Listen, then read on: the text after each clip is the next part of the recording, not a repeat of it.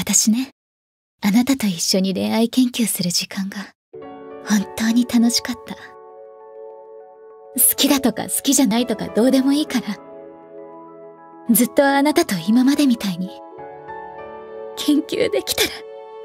そうだ。自分の感情を決めるのは自分自身でしかない。人は相手のことが好きなんだと気づいた瞬間から好きになるのだ。茨田君には博士課程に進んで今後もうちで研究を続けてほしいと思っていますが。この家は闇の底のように暗い。姫ろ大丈夫か？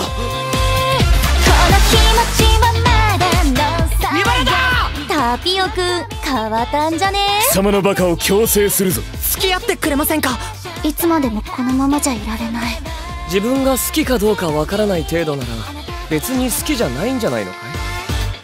私あなたのこと好きだわ。俺は今のお前のように結論は出せん。今自分の感情を整理し方程式に直しお前のことが好きかどうかを判断するひたむきで努力家プラス142心根は極めて優しい。プラス68身だしなみを整え常に自分を美しく誇り高く見せるのを怠らない。